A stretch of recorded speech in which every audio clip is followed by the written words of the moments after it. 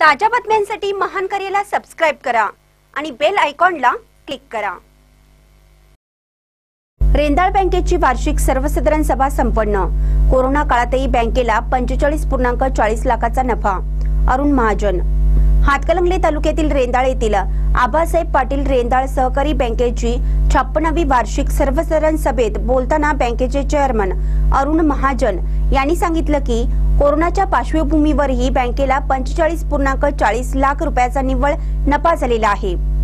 बँकेच्या ठेवी मार्च दोन हजार वीस अखेर नव्वद कोटी तर कर्ज त्रेपन्न कोटीचा आहे.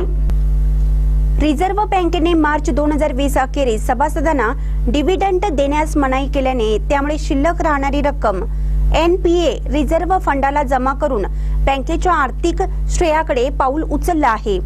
बँकेचे मुख्य कार्यकारी अधिकारी श्रीकांत जाधव यांनी व्हॅलेंटाईन डेच्या निमित्ताने थकबाकीदारांच्या घरी जाऊन त्यांना गुलाब पुष्प देऊन थकबाकीची जाणीव करून मोठ्या प्रमाणात थकबाकी रक्कम वसूल केली आहे. थकीत हप्ते भरून व ठेवी बँकेकडे ठेवून सहकार्य करावं असे महाजन यांनी सांगितलं. विषय पत्रिकेवरील विषयाचं वाचन बँकेचे मुख्य कार्यकारी अधिकारी सुरेश जाधव यांनी केले. उपस्थित सभासदांनी सर्व विषय एकमताने मंजूर केले.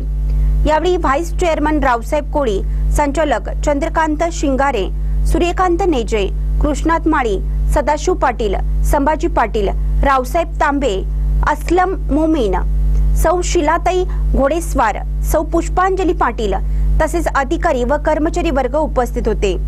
आभार बँकेचे तज्ज्ञ संचालक खंतू खंतुपसो मोमीन यांनी मांडले. महानसाठी रेंदाळहून शहानवाज मोमीन.